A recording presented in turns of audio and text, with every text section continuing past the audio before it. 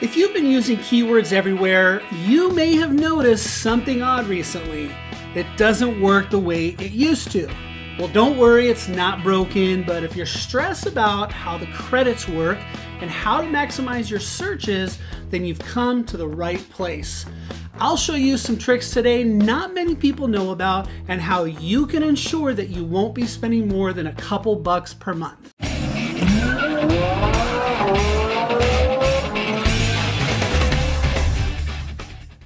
What's going on creators? My name's Ron Lyons. Welcome to another video. If this is your first time here and you want to learn how to make videos that get more views to accelerate your channel so you can make an impact and make more money, then start by subscribing and click that bell notification so you don't miss anything.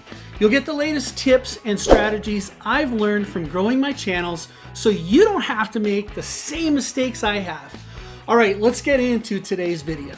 Okay, if you've been using keywords everywhere, then before you decide to drop them, watch this video all the way through because I'm gonna help you understand why it's going to cost you far less than the other research tools out there and why it's still the best keyword research tool. So let's go ahead and get into my screen so I can show you how to navigate the extension correctly to not use up your credits too fast. Okay, so you can see here I'm on the Keywords Everywhere website. If you go to pricing, you'll see that we have these lovely $10, $50, $100, and it's for increments of 100,000, uh, 500,000. So basically, uh, for every 10,000, you have a dollar, right? And so one credit equals one keyword. Um, but keep in mind, this is no monthly subscription. So this isn't $10 a month or $50 a month, okay? Uh, you have to remember a lot of these other plans, SEMrush, this is $99 a month. You know, Keywords IO, Keyword Tool IO, uh, 69 a month for their basic. Keyword Finder is $30 a month, and it's only 200 keyword suggestions and 100, 100 keyword lookups in 24 hours, right? Uh, so $10 for 100,000 credits, it could be six months, it could be a year, whatever it is. And this is where I was saying, and I'll show you a couple of key things where you're going to spend $2 or less per month because of the amount of credits. And so the first thing I want to show you to see how many credits you're going to be using and to put this in perspective, if you go up to the keywords everywhere bar and you go to stats and you look at what you did last month. Now, if you look at mine, I'm just going to give you an idea. I did about 50,000 last month. Now, this includes all the stuff I've done for my channel, all of the stuff that I've done for clients because I do a lot of keyword research for other people, as well as all just my browsing because I leave keywords everywhere on when I'm going on Amazon and going shopping, when I'm on Google, when I'm on YouTube and just searching for stuff randomly. My wife has my app uh, on my computer as well, or my extension, I should say, on my computer as well. So she, when she's in YouTube and just typing in, she's on YouTube all the time. So I use 50, just under 50,000. And so I'll show you how, number one, you, most people aren't going to use that many anyways, but if you use it properly and turn certain things off and go into settings, there's some very key things in settings I'll show you that will drastically reduce. This. Even for me, it'll reduce this number. Um, so the first thing that you're going to want to do that a lot of people miss is this right here. The first thing is this toggle switch right here, the on and off button. You want that turned off um, when you're not doing keyword research, right? And you just toggle it off. Make sure you uh, refresh and it won't show up with the volume over here because you're just looking for what you want to watch that particular day or you're on Google searching, right? I have mine on right now and you can see it showing up there. Now, here's what messes a lot of people up. The second thing is, remember when you start typing in here, there's what's called search predict.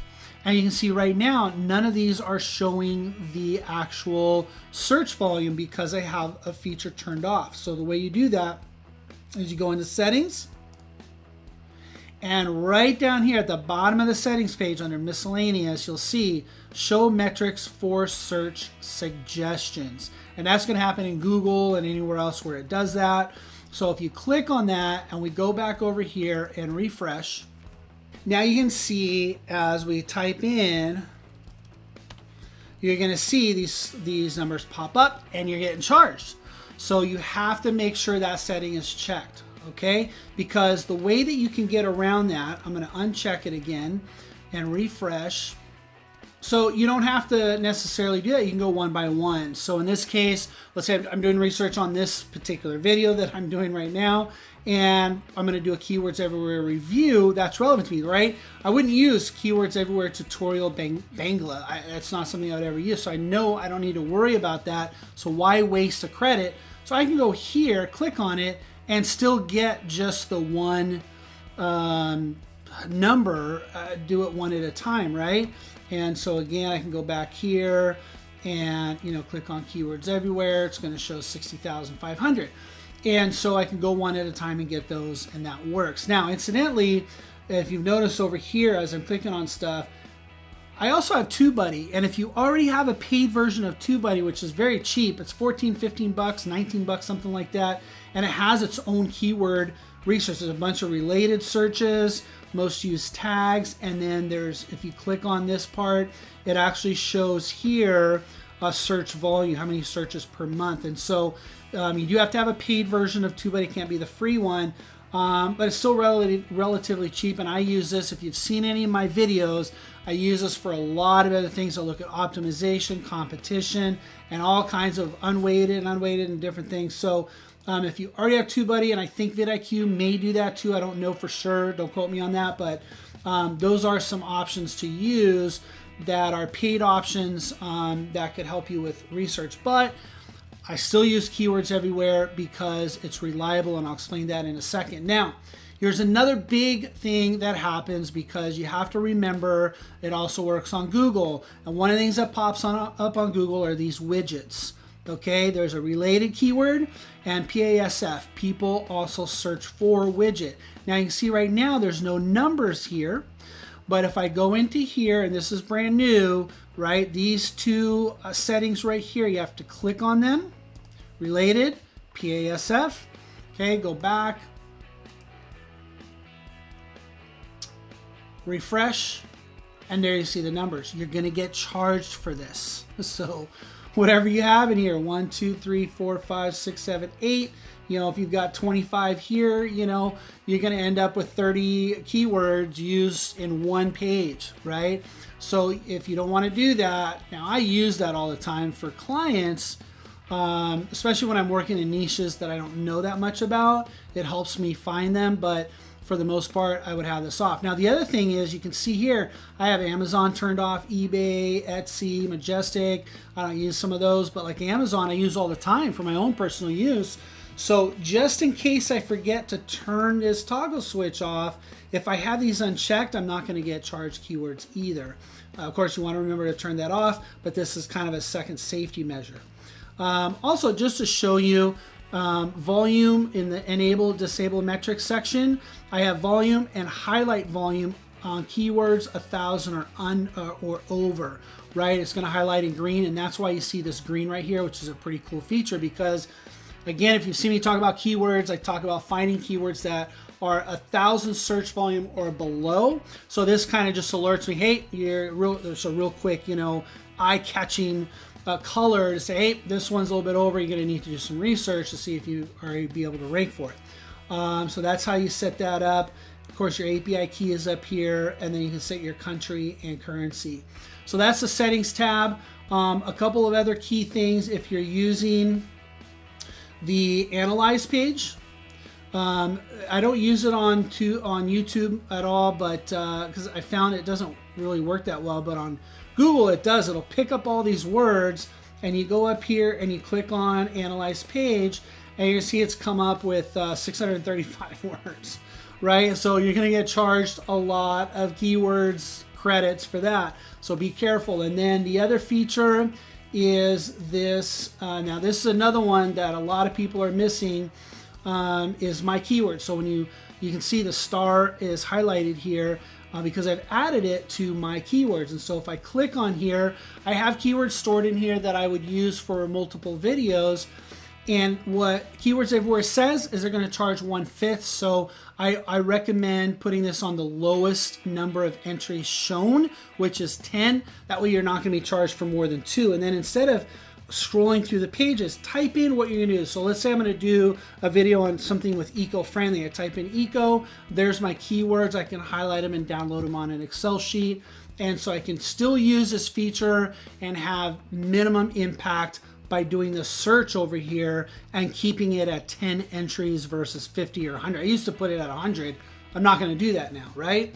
Uh, and so let's get out of that and that.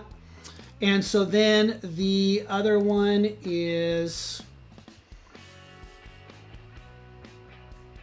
import keywords. And so this one, if you have some keywords that you are going to import, um, I use this every once in a while. And so let's type in, use comma, how to rank, okay, and get metrics. This is going to charge you as well. Um, and so you just have to be real careful what you're using. So if you're turning it off, and you're also going to settings and making sure you're setting the show metrics and these ones right, that's going to help make sure that you stay well below the $10, uh, 100,000 credits and be closer to $2 or even down to $1 if you're doing only maybe 10,000 uh, keywords. Um, so those are the tips. Now here are some options like I talked about. You can see SEMrush, um, $99 a month. These are some other paid options. We already talked about it, 69 a month here. And then Uber Ubersuggest is a free option. There's been uh, talk about it not being as uh, accurate, but it's still free. Keyword Planner. Um, I don't use Google Ads at all, but I do use the Keyword Planner. That's still free. Um, so those options are there. But here's the thing is keywords everywhere, in my opinion, is still number one because of the convenience of it showing it's a it's an extension. So you're gonna see it right here instead of having to toggle back to another application and copy and paste and all that kind of stuff. Um, it's just right there for you. And then of course, same thing with the widgets. It's, it's all right there. Um, so that's a really huge benefit for a couple of bucks a month. Um, and then, you know, the other thing that is relevant is that it's recommended by a lot of big names. Um, you know, people like Brian Dean, Sean Cannell, Sunny Lenarduzzi, Justin Brown, Nick Nimmin, all highly recommend keywords everywhere. So it has a really good reputation because it has performed well and it is reliable and accurate. Um, and so to me, um, it's just a no brainer. You're going to spend not that much money, way less than some of the other options on there for something that's going to be beneficial to help you find keywords and rank. Uh, so I hope that's been helpful. If you follow those tips, you're not going to overuse the credits and you're not going to spend much money at all. Question of the day What keyword tool do you use? Let us know in the comments below and share some insights as to why you chose that particular one. So, if you're looking for the best keywords tool, Keywords Everywhere is still the best option in my opinion, and as we saw, it'll take a ton of searches to use up more than just a couple bucks worth of keywords for most people. Now, if you like this video, be sure to give a thumbs up and don't forget to comment down below with any questions you have about growing on YouTube. I check my comments daily and I'm here to support you. You can also join my Facebook group to connect with other YouTubers from all over the world to support each other and network. Just click on the link below and I look forward to connecting with you soon. Remember, you are just one video away. I'll see you in the next video.